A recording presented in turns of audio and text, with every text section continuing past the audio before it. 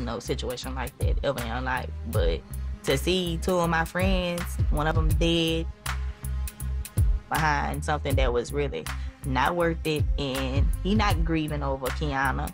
Like this, not something that's bothering him. He don't care. Men manipulate women, but don't let no man manipulate you.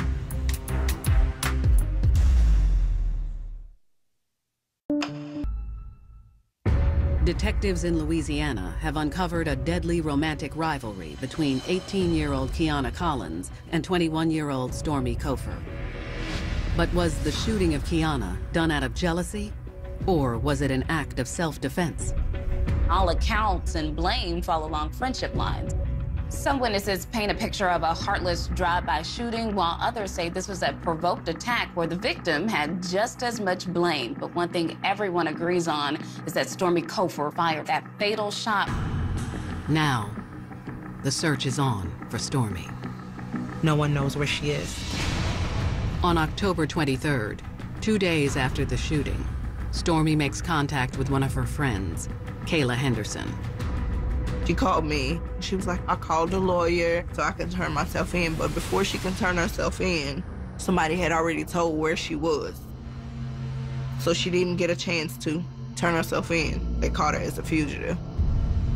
Stormy is arrested without incident and charged with second-degree murder. In Louisiana, second-degree murder, if convicted, carries mandatory life in prison. However, it will be up to a jury to decide if Stormy's actions that day rise to the level of self-defense. We asked her attorney if he wanted to discuss a plea bargain to the lesser offense of manslaughter, but they were adamant they were not pleading guilty to anything. On September 16, 2015, the trial of Stormy Kofer gets underway.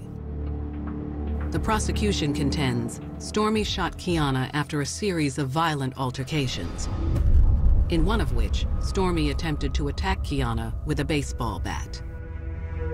We talked the background of them physically fighting, uh, calling each other on the phone, threatening each other. Somebody would start jawing about Blaze this and you that. They wouldn't let it die, and that fired up Stormy. When it's their turn, the defense doesn't deny Stormy pulled the trigger that fateful day.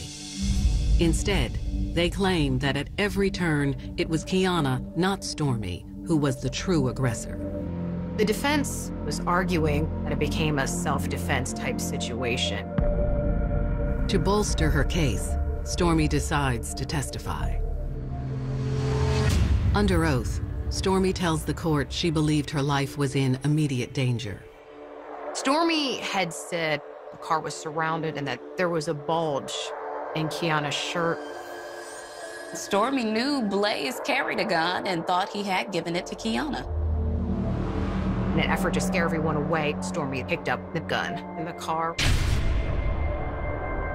She said, I never meant to kill her. I was only trying to scare her. Still, Stormy admits picking up the gun was a mistake.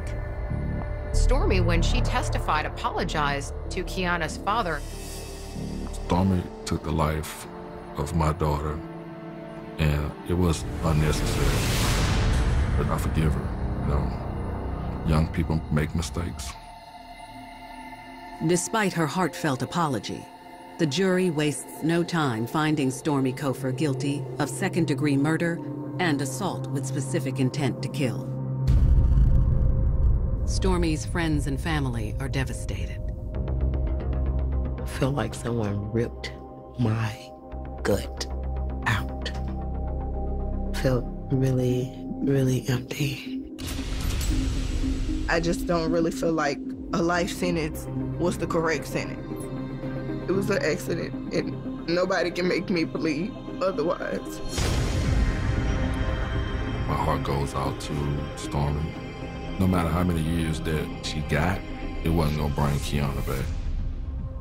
I wasn't feeling joyous because you still had this child that whole life she has to spend it in prison. So you had two lives that were lost. There's one person involved in the case who shoulders none of the blame in court. A man that family and friends on both sides hold personally responsible for what happened. Blaze Roberts. Blaze liked the idea of having two women fight over his affection. To me, he's a coward. He's more responsible for this situation than anybody. He said, I, I never meant for any of this to happen. Well, what were your intentions on having these girls fighting over you? And I used to tell Stormy to leave him alone, and the more I told her, the more she clinched to him. I really hate that it happened. I really wish that Kiana would have left Blaze. I was just basically telling her, don't fall into the trap. Pretty much that went in one end, out the other. If a man start getting you to do things you know isn't right, get out of it. That's the beginning of things escalating to something terrible. When you are unclear about who you are, you can become preyed upon, unfortunately, by someone that can manipulate and control you, that can really ruin your life. They say all men want to be a woman's first love. But what if he wants to be the first love of more than one woman? To have his cake and eat it too while the two of you fight for his affection. If that's the game he wants to run, then the only way to win is not to play.